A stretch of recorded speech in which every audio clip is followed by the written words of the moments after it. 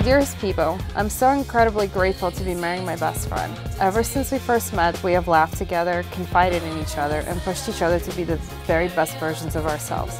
We've already shared so many good memories together. Lighthouses in Maine, hikes in Watkins Glen, mushroom foraging. I can't wait to see what the future has in store for us. Your loving husband, always,